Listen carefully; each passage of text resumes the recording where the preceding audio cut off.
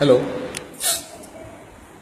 this is Shaik Mahaboob Basha, PGT Physics, Putlur Model School. Today I am going to demonstrate uh, the total internal reflection.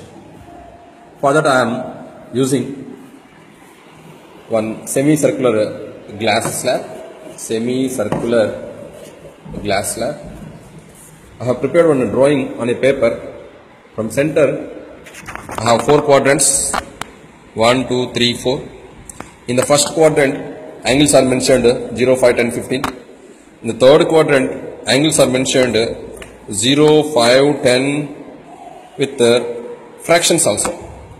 You observe the fractions here 1, 2, 3, 4. Okay. Then I am using this uh, laser pointer. Take this, this one, a laser pointer. Then I have an arrangement, a corner like using a thermocol just a corner like arrangement.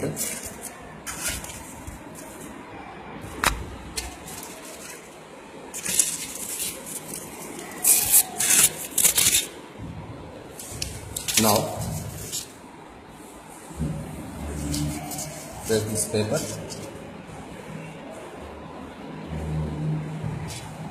I'm placing the semicircular glass slab. Care should be taken. Center, center should coincide.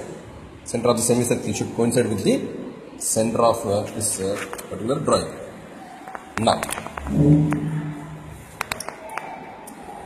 this is a incident ray for uh, zero incidence. Normal incidence, there is no deviation, there is no refraction at all, and uh, as I go on increasing the angle of incidence, you will observe the refracted beam at nearly particular angle, 40 degrees, nearly 40 degrees, you will observe the refracted beam and also a reflected beam.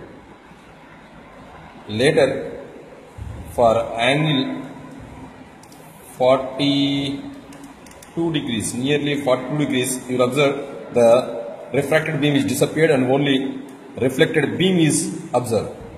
So this is a total internal reflection taking place. That means 42 degree is the critical angle for the glass and after 42 degrees if you go on increasing based on law of reflection whatever may be the law of the angle of incidence you will get same angle of reflection. So now there is only reflection.